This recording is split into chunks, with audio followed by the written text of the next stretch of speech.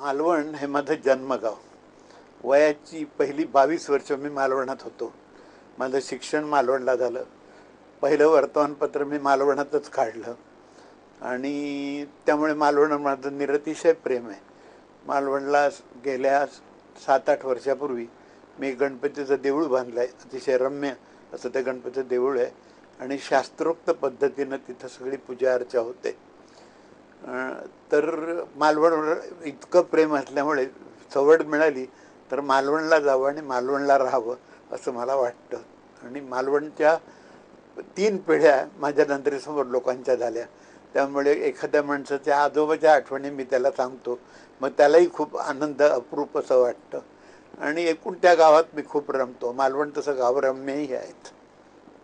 कोकणातला समुद्रकिनारा फार चांगला आहे. हे इथले बाकीचे आपण समुद्रकिनारे बघितले की लक्षात येतं. लहानपणापासून तिथंच वाढल्यामुळे त्याचं वैशिष्ट्य समजलं नव्हतं.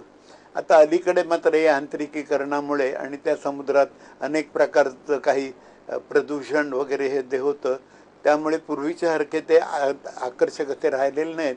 पण मालवणपुरतं म्हणायचं झालं जर तर मालवणला दांडी देवली हा जो काय भाग आहे समुद्रकिनाऱ्याचा तिथले समुद्रकिनारे अजूनही अतिशय चांगल्या प्रकारचे आहेत. मालवण तर ऐश्वर्य आहे म्हणजे सिंधुदुर्ग.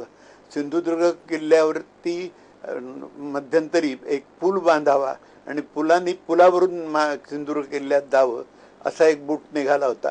त्याला मी विरोध केला. कारण माझं म्हणणं असं आहे की होडीतून किल्ल्यावर जाण्यातला जो आनंद आहे तो एकतर हिरावून घेतला जाईल आणि सिंधुदुर्ग किल्ल्याचं जे वैशिष्ट्य आहे ते नाहीसं होईल. तिथं मग गेस्ट हाऊसेस होतील हॉटेल होतील आणि त्याची जी काही आजची गम्मत गंमत आहे ती राहणार नाही. आणि मालवणातली तुम्हाला एक आठवण सांगतो गमतीदार की त्या दिवशी कोणीही ब्राह्मण व्यापाऱ्याच्या पेढीवर गेला की तो त्याला चाराणे काढून द्यायचा ब्राह्मणाला. तो केवळ जातीचा ब्राह्मण आहे म्हणून त्याला चाराणे मिळायचे.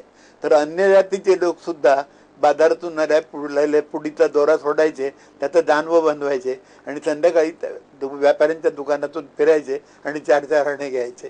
हे गमतीची आठवण.